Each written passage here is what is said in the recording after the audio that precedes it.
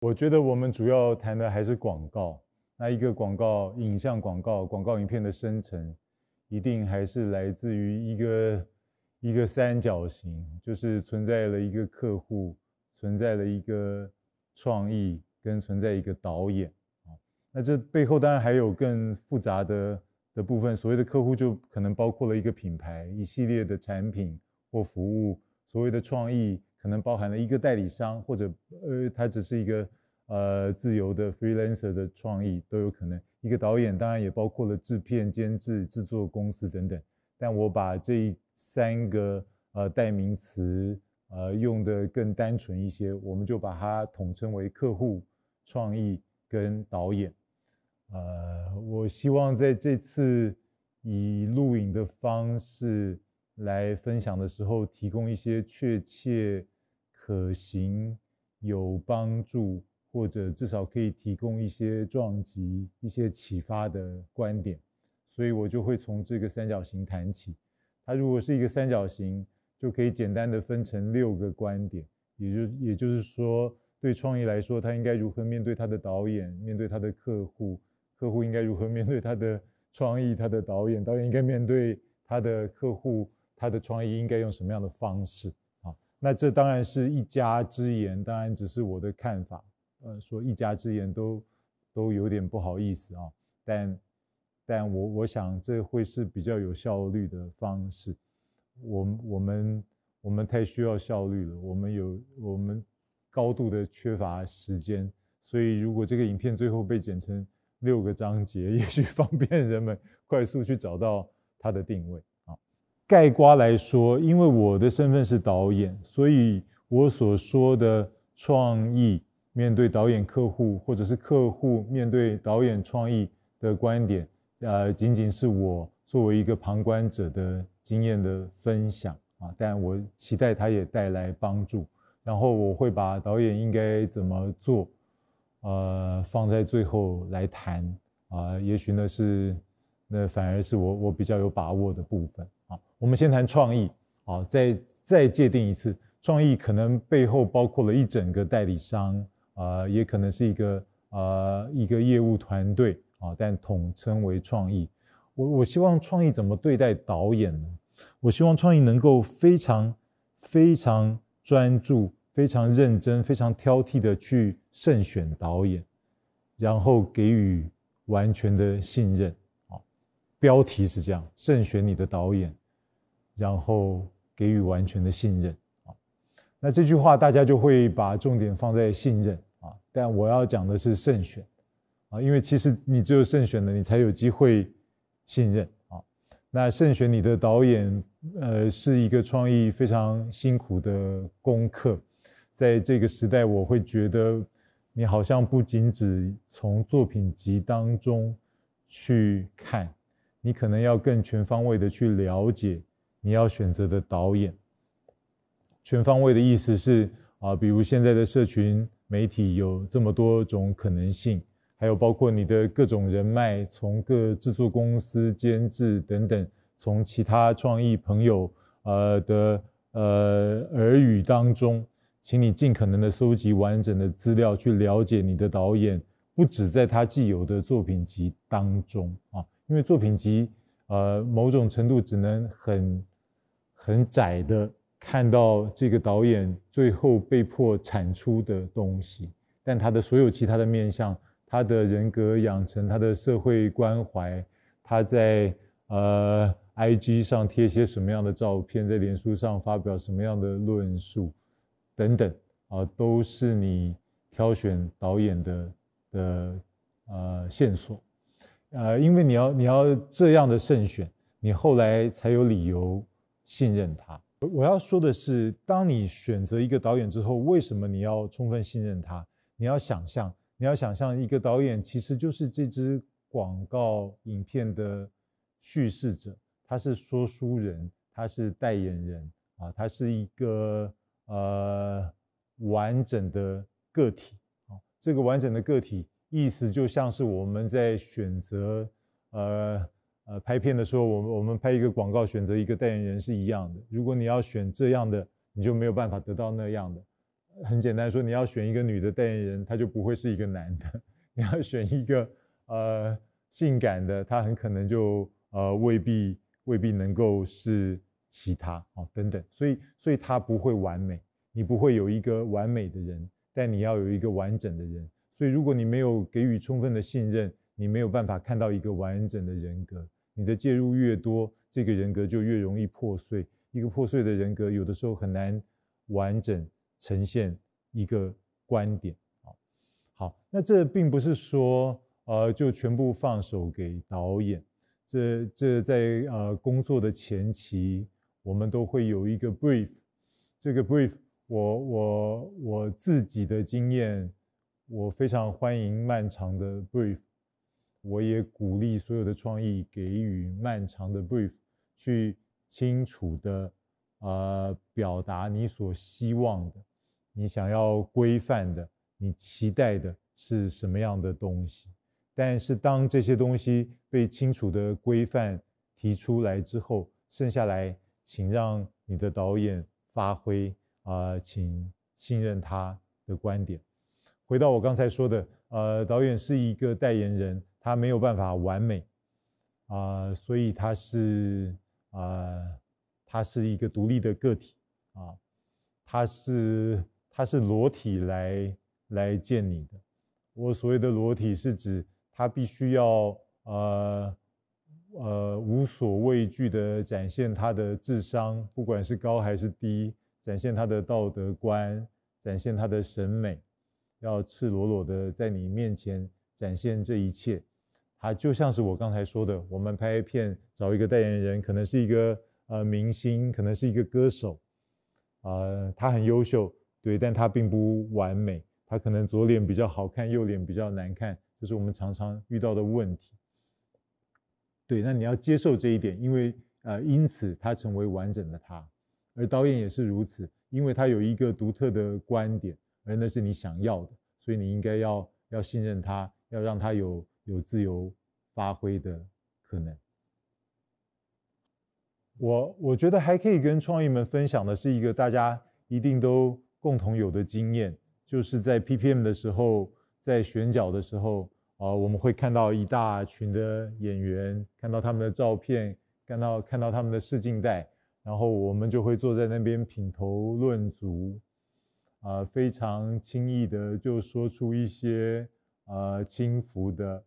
不得体的尖酸刻薄的批评，我想大家或多或少都有这样的经验。这个人怎么长这样？这个人如何如何？我我我就不再举例。我我认为这是一个好的反省的时刻，去想一想我们曾经在呃选人的过程中如何发出这些酸言酸语啊。那我觉得可以给创意的提醒是，不妨反省一下，为什么人们会提这样的人给你看？人们会提提这样的人给你看，或多或少反映了人们对你的想象啊。好，那从这个角度来看，我们也是，我们也应该从从这个方向去想，我们选择一个导演的时候，并不是选他来酸言酸语的。某种程度，我们已经是信赖了这个人所要啊展现的那个完整的自己，那个裸体的自己啊，来为你的影片注入新的观点。啊，然后你必须要充分的 brief，刚才已经说过了，啊，给予他足够的线索，足够的规范，你的完整的期待，啊，越早给的越完整越好，然后就安心的坐下来，呃，靠着椅背欣赏他表演。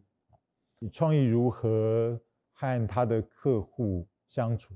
那我讲的不是呃所有的创意跟客户相处的时间，呢非常的漫长，而且是。一个艰辛的过程，对。但我们刚刚说了，我们现在讲的三角形是一个广告影片生成的这个三角形，所以我们指的是在一个广告影片生成的阶段里面，创意应该要如何跟客户相处。我认为，呃，如果有一个标题，那就是尽其所能的使你的客户信任你的导演。标题就是这么简单，你就是应该让你的客户信任你挑选的导演。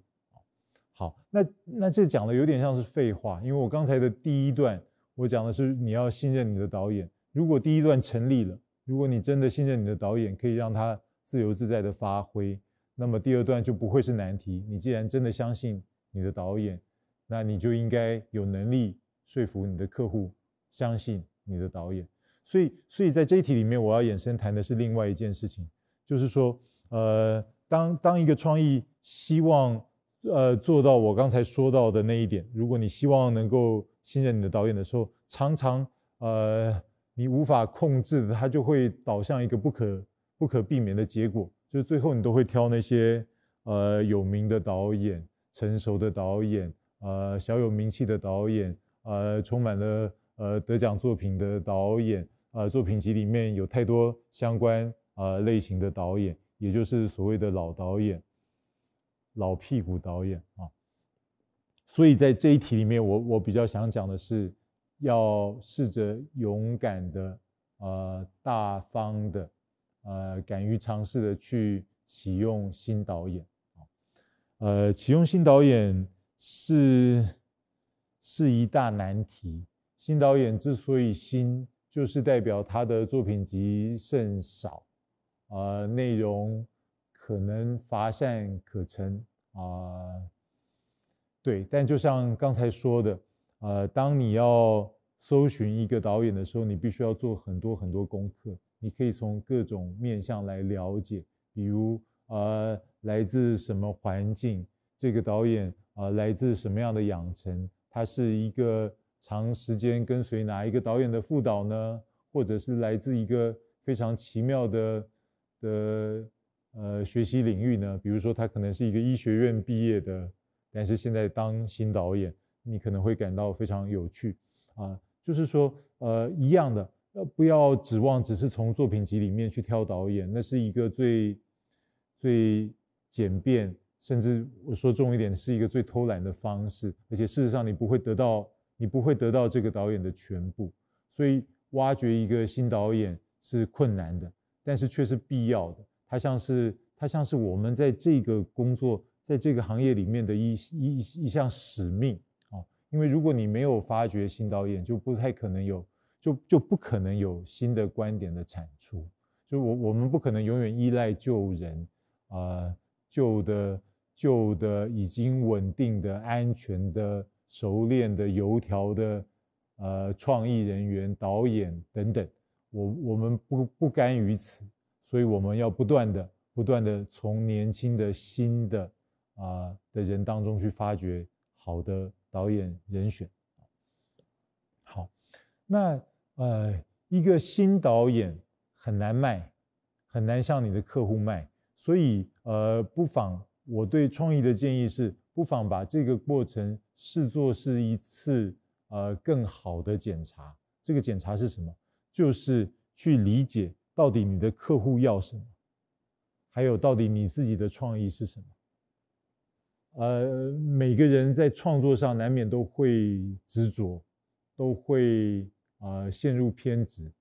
它不是坏事，因为创意是主观的啊，在这个过程中是主观的。我现在就不谈行销的那部分，行销里面可能有一些客观的呃数据啊可以参考，但但纯粹创作这个本身一定是主观的，是偏执的，所以它不是坏事。对，但因为你要向你的客户介绍一个新的导演，所以这个过程中你就会。被迫去审视你自己的创意跟客户想要之间是什么？你要来回去看 A 有没有对上 A，B 有没有对上 B，C 有没有对上 C。这个 A 对上 A，B 对上 B，C 对上 C 的过程，就是这个导演的价值。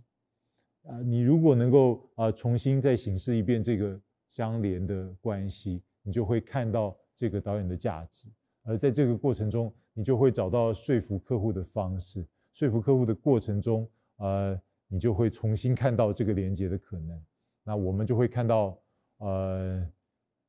终于可以看到一个品牌、一种商品、一个服务可以得到一个新观点，呃，诉说。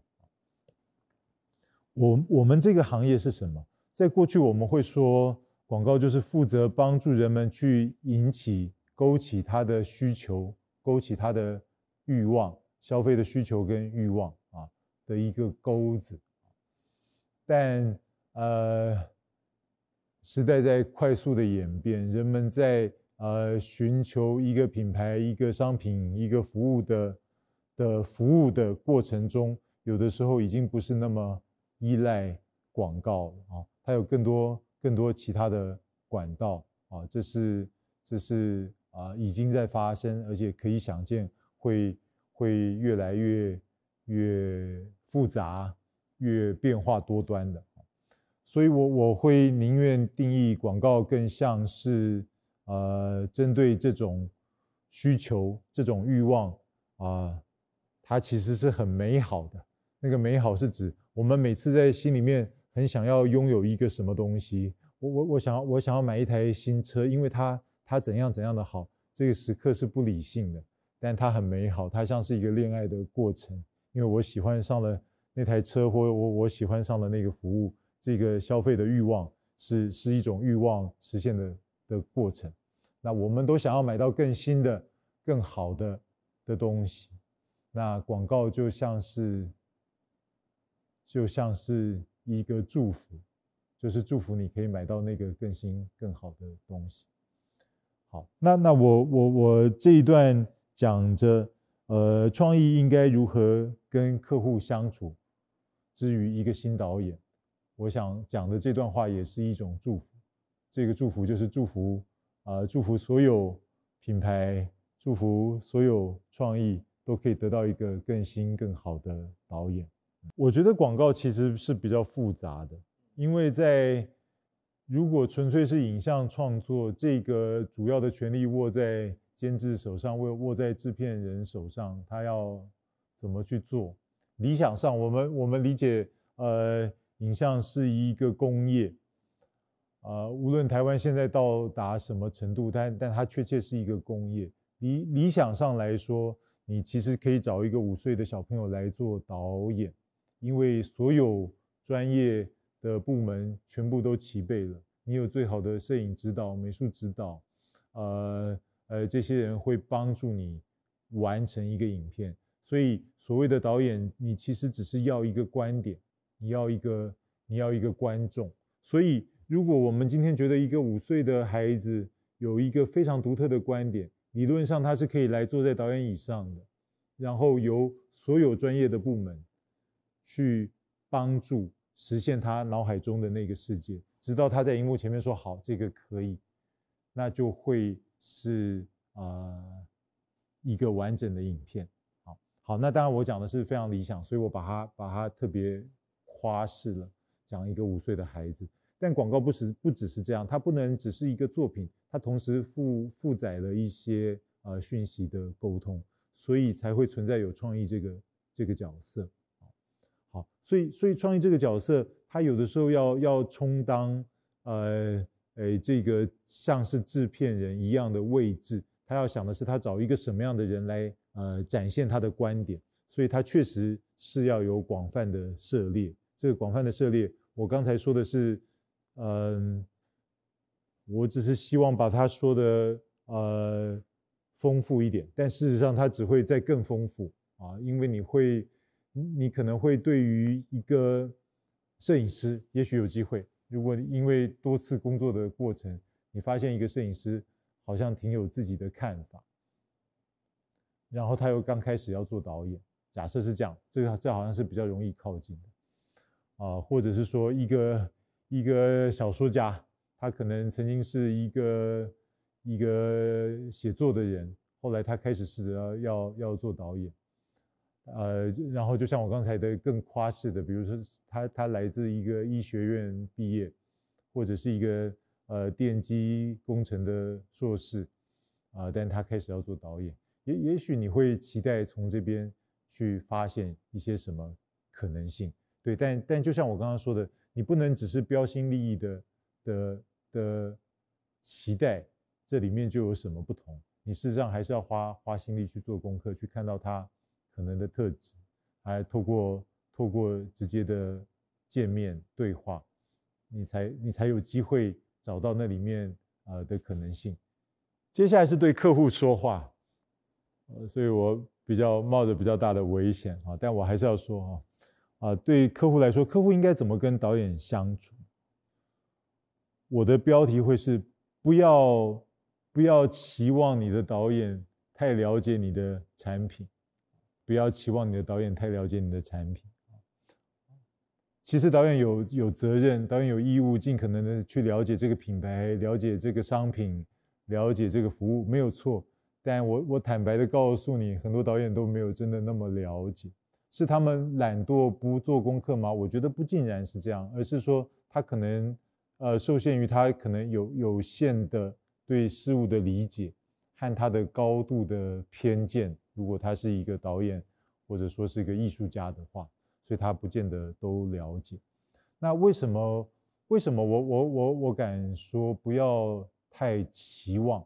不要太期望你的导演太了解你的商品，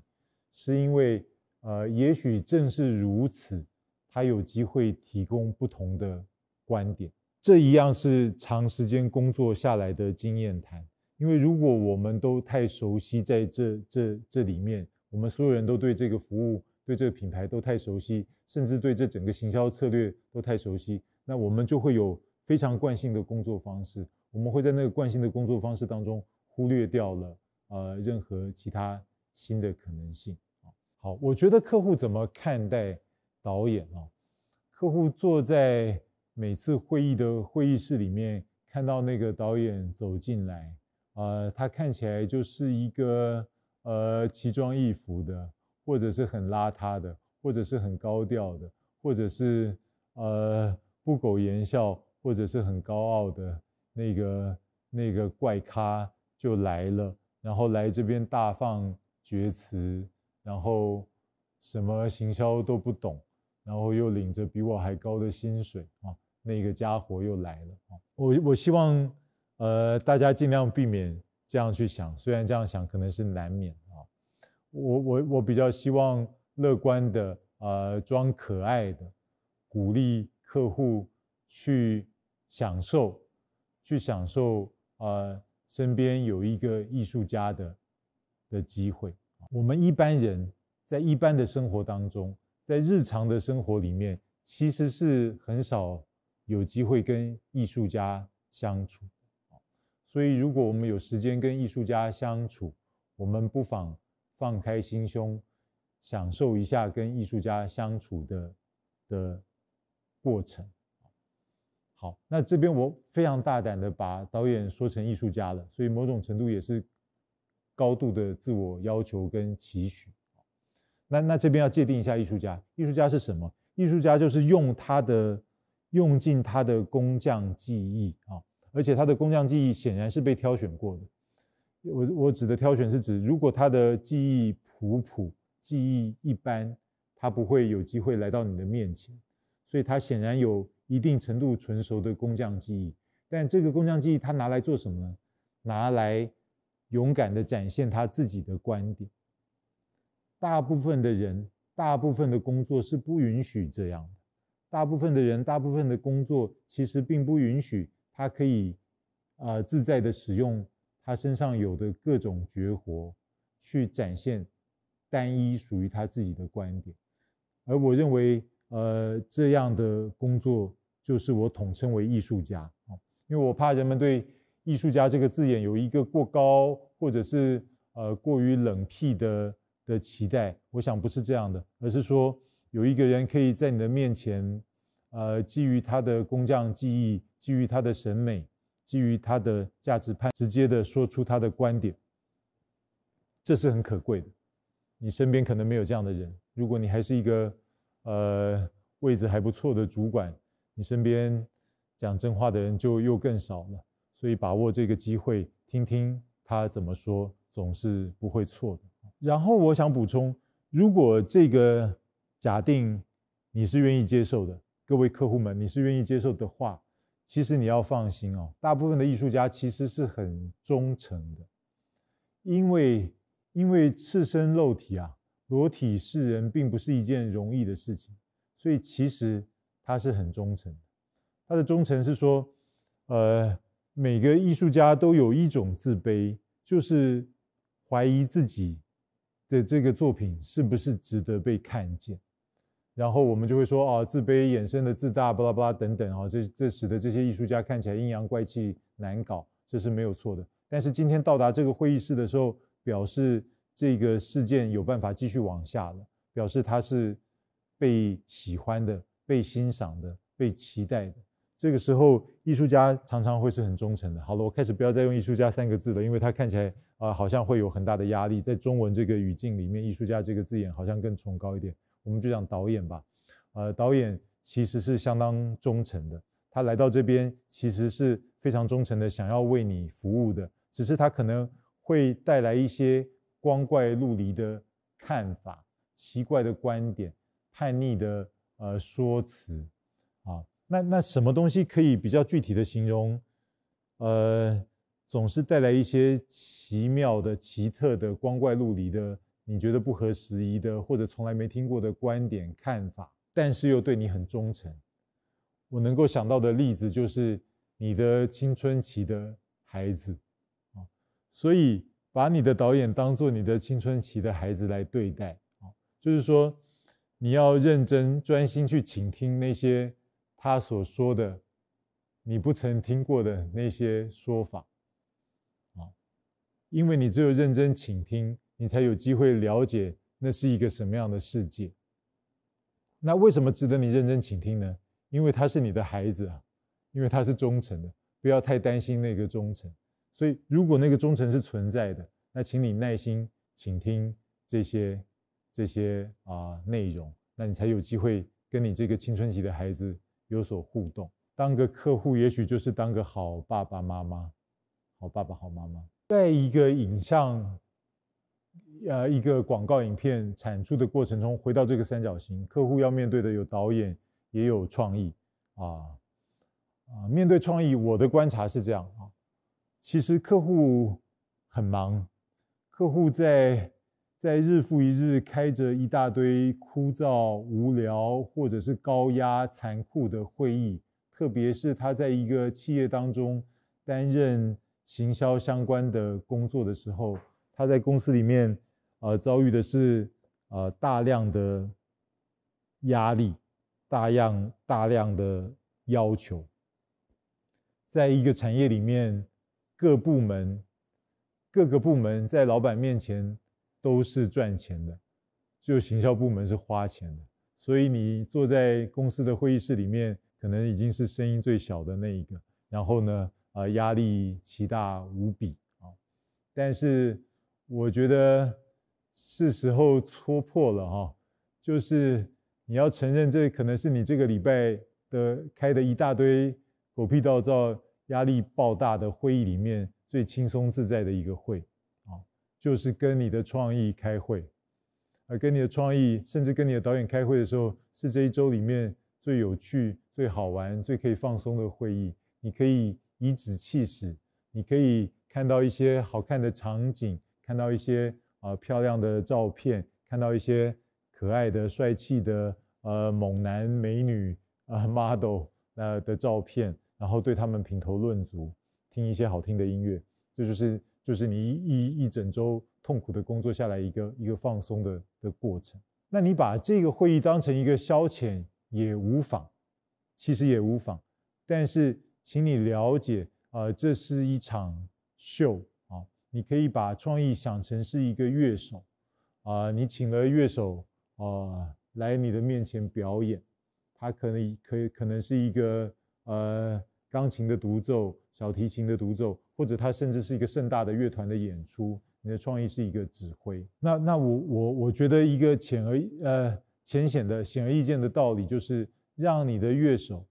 呃有最放松的，啊最自在的，最畅所畅畅所欲言的的状态，啊他就会演出最好的作品，啊一样是关乎我刚才提到的忠诚啊。那个忠诚是呃不不论是创意或者是导演对你来说都是有的。我认为导演又多一些哈啊，但创意来说，因为他他终究要服务更多品牌，所以也许有所不同。所以我会用乐师、乐手或者是指挥家来描述这个会议的过程啊呃，请你啊享受他们的表演，请你给予他们更多呃温暖的微笑。啊，他们在更好的状态，总是会提供更好的表演。你绝对可以确定，如果你给予他们一些严肃的、苛刻的状态，他们一定会带来一个更糟的表演啊，这是可想而知的。那再来就是心里不要有太多预设，心里有越多预设，就会有越多的不如期待啊，这是很科学的啊，因为你预设了这个旋律应该怎么走，因为你预设了这个曲子应该怎么表达，所以这个乐手的表达就越容易。达不到你的期待，那我们听音乐应该是这样的，就是说，无无无论你对这个乐章有什么样的看法，你走进一个音乐会，你应该是尽可能，我知道很难，但是尽可能的归零。我决定来这边啊，欣赏这个指挥家怎么表现这个乐章。当我心中有所期待。当我的见识不够广阔，我就会认为这个乐章应该是这个样子，所以我就会觉得这个指挥家怎么把它走得这么快，怎么把它走得这么急，怎么把它走得那么激昂，或者是呃那么低调？因为你预设的旋律越多，你就会对你听到的旋律越不满啊，何何妨让你的预设越少越好？而且我要呃，我要说我要说实话，就是常常在你心里面的那个已经存在的旋律，已经是一首有点老而且过时的歌了。导演怎么面对创意，跟导演怎么面对客户，是这一段录影的最后一小节，最后两小节啊。然后我会。我要很直白的坦诚，因为我自己是一个导演，所以在这一题里面，我会讲的最为柔软和宽松，我会对导演的要求最少。我我认为每一个导演还是应该尽其所能的去吸收各式各样的知识，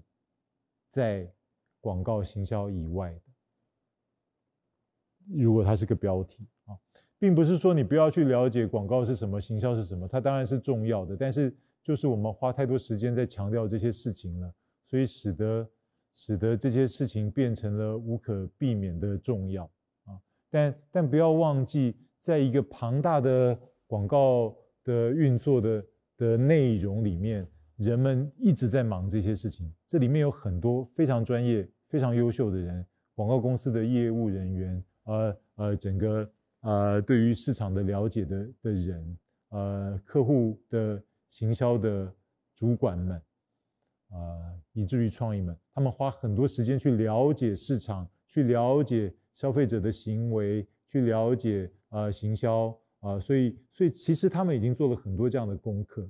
啊，所以，所以如果我们再来一个导演也也这么擅长这个，我我不确定他是不是真的是最擅长，他可能。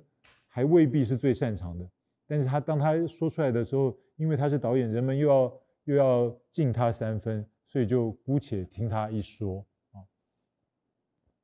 我我我期待导演更更更多时间去去了解啊，最最显而易见的、最浅白的，就是现在流行些什么啊，这些就算了，呃，更多其他的文文学、摄影、音乐啊，各式各样。社会议题，因为你在呃这些部分，你你你你入世的，你入世的生活着啊，我我希望是这样，你尽可能入世的生活着，你能坐公车就不要坐计程车，呃的的一个啊的生活方式，你就会更有机会去扩充你呃所有其他的其他的知识，那这是你来。这是你在最后广告行销的最后这个环节开始要拍一个广告影片的，把你拉进来的最主要的原因。我们期待的就是你进来提供这些不同的观点，就是你进来，大家在在烦恼着这个行销呃策略，这广告要怎么走的时候，你你进来说，干，今天好冷哦，这句话都都有点意思，就是帮助大家回到这个世界上，因为大家在那个呃充满空调的呃舒适的空间。然后想着外面世界是怎么一回事，其实但但已经跟外面已经脱节了。带进来，告诉告诉人们外面世界是什么啊，所以要要勇于让自己跟跟跟创意跟客户不同，带进来更多不同的观点。其实他们其实最需要的也是你带进来的这些东西带来的启发，而事实上也是那些东西，一直都是那些东西在强化你的工匠记忆，不是吗？你的工匠记忆其实总是来自于你的生活，你的那个该死的恋爱，你的你的那个呃投资股票失败，呃困顿了三年的那个那个鸟日子，呃这这一切这一切一切啊，你参与的社会运动，呃你的政治倾向等等都好，这里面都会带给你更多呃创作的冲动跟养分，而不是。而不是呃，广告影片应该在第几秒的时候就要有高潮啊，确保啊，确保它不会在哪一个平台被人呃 skip 掉的这些无聊的呃行销知识，它有有人在 handle 就可以了，哦，它可以不用不用由你来烦恼啊，你应该认真想怎么拍一个真正好看的片子，它如果真正好看，它它就会好看，它不应该受到那个第六秒会被。跳掉的规范，然后很白痴的在第六秒一定要出现一个啊漂亮的女生还是可爱的小狗什么鬼的？我觉得一个导演出现的时候，你要了解在那之前，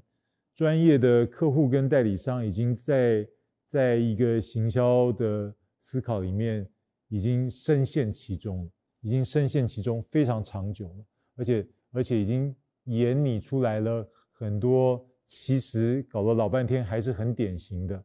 很老套的行销方案，它不可避免是这样。因为如果市场没有太大改变，行销方案也不会有太大改变，这是很正常的。我这并不是在贬低客户或者是创意代理商的行销策略人员，而是说他总是跟着市场走。对，但他们深陷其中，一直呃循环在那个典型当中运行，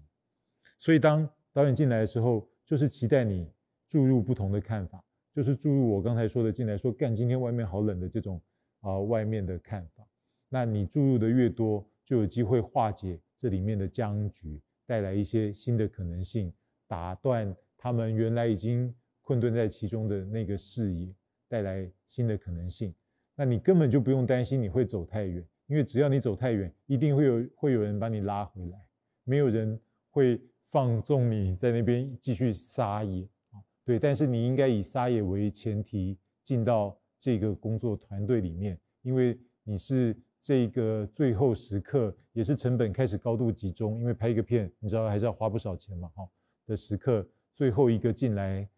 的人了，啊，那这个人不进来撒野，还继续讨论着行销应该怎么做的话。那这个事情大概也就八九不离十的完蛋了。导演对客户有一个，这就是我我觉得唯一严格的要求了。导演对客户，因为因为对客户来说，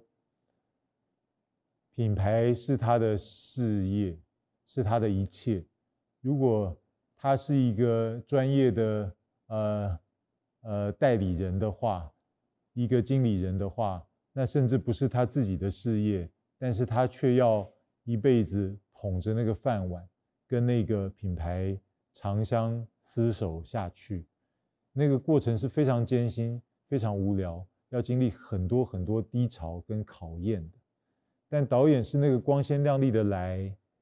大家相处了三四个礼拜，然后快快乐乐的拿着一包钱走了的那个 那个人。所以，请你要非常非常尊重你的客户。请你要练习，充分的练习如何说服你的客户。当他有各式各样的疑惑的时候，这有点回到我刚才在上上章节聊到的那样。如果客户跟你是一个忠诚的关系，我已经试着说服你的客户相信你的忠诚了。我已经试着说服你的客户待你如子啊，待你如同对待他。青春期的孩子一样，既要忍受他的所有玩世不恭的 言语，又要充分的爱他，相信他对你的忠诚。那现在回到我们自己，我是导演，你也是导演，我正在对每一个导演喊话：你有责无旁贷的责任，学会如何说服你的客户。说服客户这件事情，就我所知，很多导演会说他不善言辞。我我我们我们身边持续都还是有这样子的导演啊，我不善言辞啊，我有呃我有人群恐惧症啊，我有社交障碍啊，我有选择困难啊，我有一大堆理由来来保持他的呃独独独特的身段。对不起，我要讲刻薄一点点。我的意思是，呃，无论如何，无论有多大的难题，你要。有无比的责任去学习跟你的客户沟通，使他放心啊。那这不是因为它是一门生意，而是因为这是完整这个三角形使它牢固的时候，呃，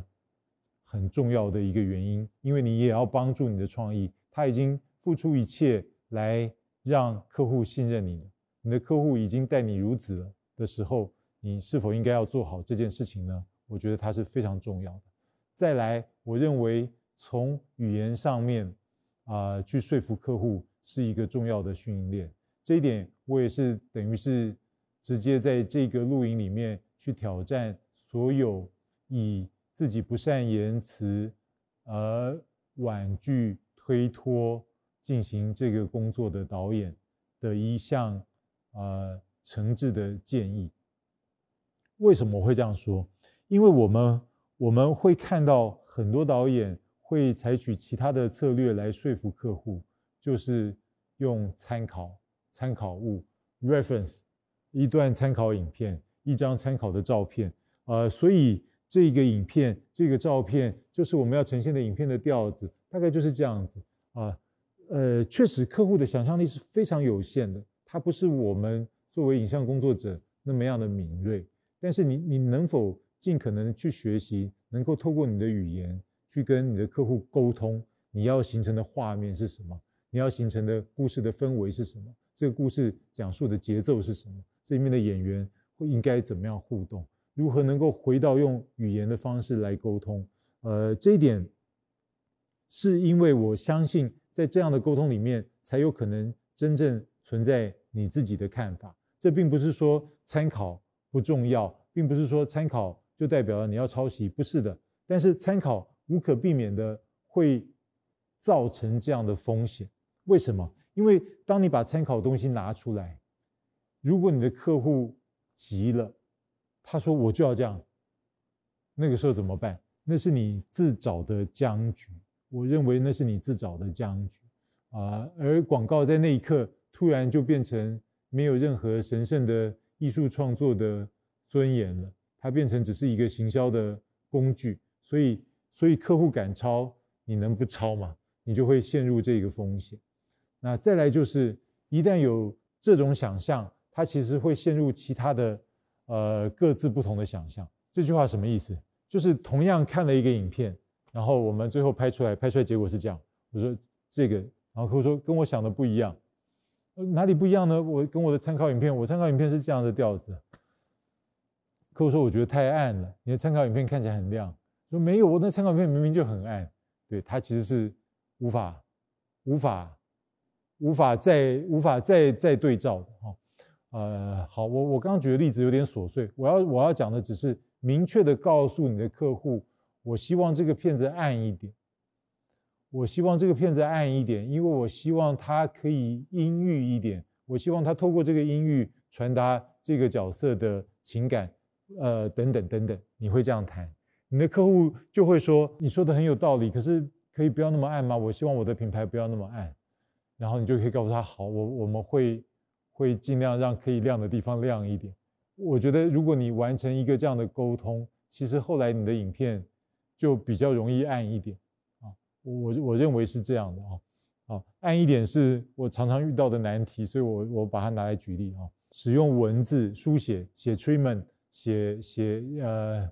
呃呃，开会的时候不厌其烦的解说你要拍摄的内容的细节，这个角色为什么要这样选择？是我认为是最最佳的解方，然后也是也是我刚才说的，你责无旁贷应该要训练自己的的那个部分。你可以你可以不是那么擅长跟你的伴侣沟通，你可以不是那么擅长跟这个 世界沟通，但你要擅长跟你的客户沟通。呃，如果你你在在这个位置上的话，然后我最后补充就是，事实上在拍摄的现场，在拍摄现场，你总是要跟人沟通的，不是吗？你要跟你的摄影指导沟通，你要跟你的演员沟通，所以使用语言沟通这件事情是是一个责无旁贷的必要。然后，如果这些事情都可以做到，没有道理。你没办法为你的客户做到，呃，去完成这个呃坚固的三角形，去期待这个三角形因为坚固而产出一个够好的广告作品。我试着试着让自己伟大一点啊，试着让自己原则性一点，讲出一些可能可行的原则。那这些原则是比较有可能拿来使用的，而且使用一次不成功，好像还可以拿来使用第二次、第三次。好像用到五六次都不成功，你再觉得它是个废物，再把它丢掉，应该都还来得及。对，但但可能这样会，可能会比较有帮助。如果你正在十八岁，你正要想当一个导演，那我把它，我把它一并想成就是你非常非常的年轻，然后开始想要成为一个导演。好，我有一大堆旧的路径，但是我。觉得好像不应该分享旧的路径，因为你们在新的时代有你们新的环境，其实跟我是截然不同的。我也可以快速用三十秒说完，就是我也很想当一个导演，在十六岁的时候决定，所以就去念了相关的科系，然后进去了之后发现做这个应该会很穷，因为我念的是剧场系，所以呢我也非常快的就妥协了，所以就考研究所。考研究所为什么呢？因为确保自己可以当一个老师。在大学教书的话，就确定不会饿死，这是一个基本的路径。然后呢，我就在呃念研究所的时候，因为接接一些写脚本的案子，所以成为一个编剧。那在成为一个编剧的过程中，我还是不觉得我有机会成为一个导演。对，但因为有一个导演闹脾气不来了，所以我是那个编剧，所以我就被叫上去了，我就成为导演。对我用这么快的速度讲完，就是说这条路径会只属于我。未必会属于你，而且很可能没办法属于你。在特别是你所处的年代，那个年代是非常非常不相同的。所以，我我想我想谈的，我还是希望用非常概括的，而且虚无缥缈的方式来提供一些线索。那那这是我。这还是我仔细想过的方案，因为我觉得，如果你能够从这些话里面找到一些启发，还是一些反省，应该就是一件好事。想当导演是一个什么样的愿望呢？我们说。我从小立志当医生，我们对医生好像有更多的了解，对事实上了解还是极少。当你真的成成为一个医生之后，会发现他还是有很多的不同。我想长大想要当一个警察，我后来如何成为一个警察？我指的都是真正成为。你会发现他有若干不同，但若干相同。但导演是什么？导演其实是一个暴君啊。暴君是是孩童都可能有的一种对未来的想望啊，只是他没有办法，他不会用这个语言诉说出来而已。暴君的意思是指我可以掌控一切啊，所以导演确实是一个可以掌控一切的。工作这样讲还是笼统的，因为因为事实上我们刚刚已经聊了一大堆导演可能受到的限制，但没关系。从一个理理论上、概念上来看，导演是一个暴君，他是一个独裁者，他是一个拥有一切权利的人。所以你到底是是不是只是对一个头衔的迷恋？你迷恋一个头衔？在你根本不那么了解的时候，你迷恋医生这个头衔的时候，其实你对医生已经有若干了解了。即使你作为一个孩子，你大概每年生个两次病啊，打个一次呃流感疫苗，你大概三次会见到医生。你满街会看到警察，呃，但你不知道导演是什么，所以你是不是纯粹是一个头衔的的渴望？你有没有清楚意识到你想要成为一个暴君？好，好，那从成为暴君这一点来出发，你觉得你做好准备成为一个暴君了吗？因为它并不是一件容易的事。当你希望一切事情如你所愿的时候，你会发现没有那么容易。特别在你经历青春期，长到十七八岁，开始要，不管是进入高等教育，还是要进社会也好，你会发现，其实你并没有那么擅长做一个暴君。很多事情都要由你来决定的时候，其实你会退缩，你会紧张，你会三心二意。你会不敢负责，你就会发现你的匮乏。也好，我们也许都想当暴君，但我们想当一个好的暴君吧，所以这件事情就变得没有那么容易。那我我就会说，请你去想，你到底懂不懂文学，还是懂不懂音乐，还是？会去逛逛美术馆吗？所有这些养分都是呃，我认为比较不会受到时间淘汰的一个导演的养分，一个暴君的养分。其他的事就更不用说了，谈几个恋爱被甩掉，还是工作上面的。折磨啊，亲情、家庭等等，这里面众多的体会，都会成为你的养分，使你真正有看待事情的方法，看待事情的角度，并且这个角度是人们也感兴趣的。在这些东西没有到达之前，你充其量不过是一个。一支片的导演，你可能十七岁啊，你可能很有看法，所以就做出了一支影片啊，也颇受好评啊。但是到这边就没有了，这很正常，不是你才华不够，而是你的人生阅历就是到到此为止。所以在现今有太多软硬体的支持之下，你可以轻易的成为一片导演，成为。一个人们认为的哇，新锐，呃呃，青年才俊，呃，不满十八岁就如何如何等等，对。但扪心自问，你可以做一个永恒的暴君吗？你做不来，因为你甚至不知道你想要什么。所以去找到你想要什么很重要。从文学里去找，从音乐里去找，从呃艺术家、呃画家的画作里去找。去找到所有这些养分啊，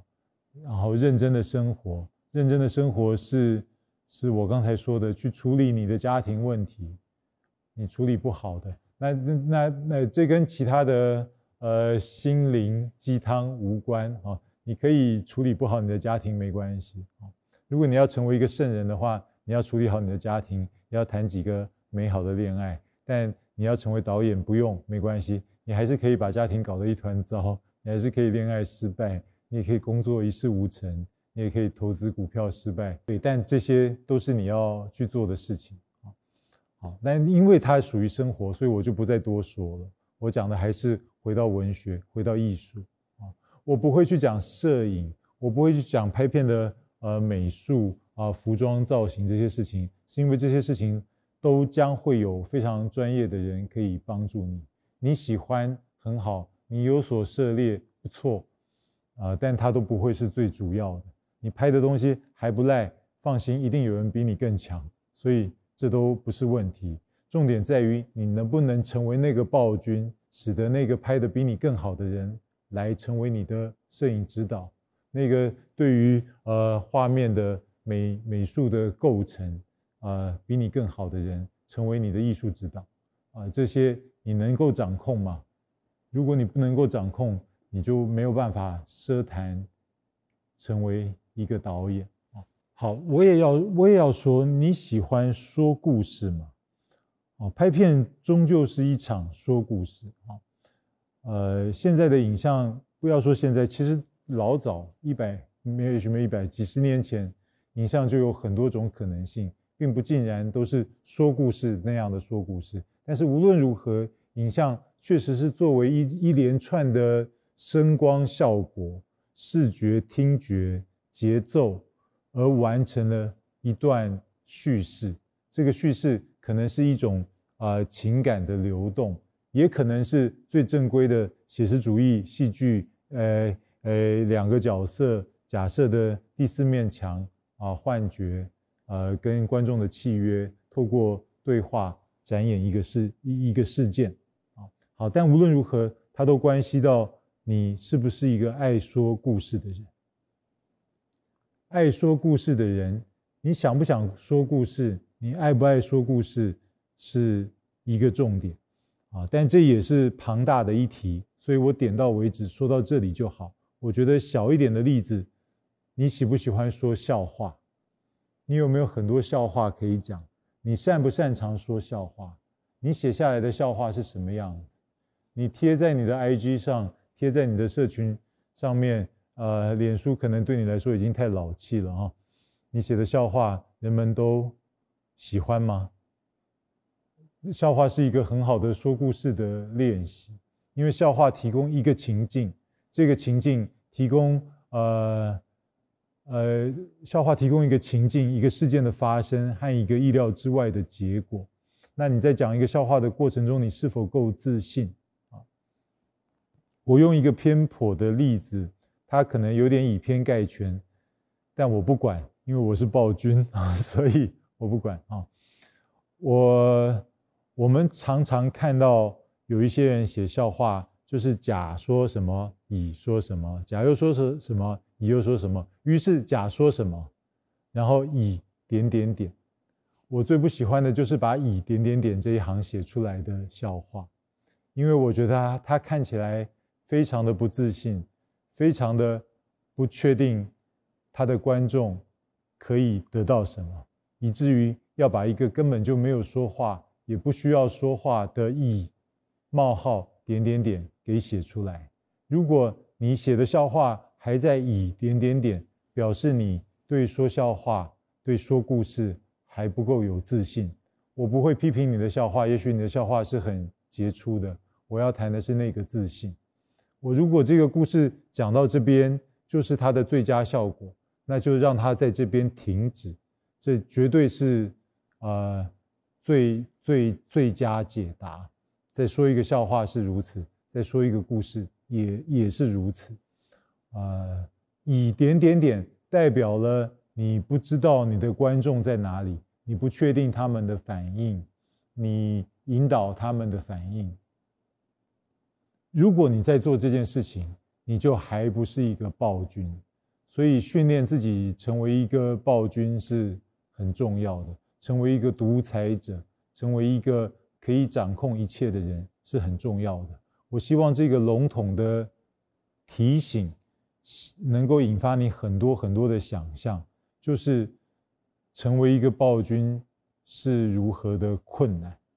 以至于你要如何的充实自己，你才有办法应对所有那些挑战，所有那些变化。那些所有挑战变化来的时候，你都有看法，你都有办法把它打发回去，给予指令，维持你的王国。啊，那在这一点之上，就是我说的这个说故事的训练。你爱不爱说故事？你怎么说故事？你说故事是否自信？在这一点之上，就是大量的养成。我刚才说到的生活里面那个失败的恋爱，那个搞砸的家庭生活。那个呃不顺畅的工作经历，在网上就是那些音乐、那些文学、那些艺术作品。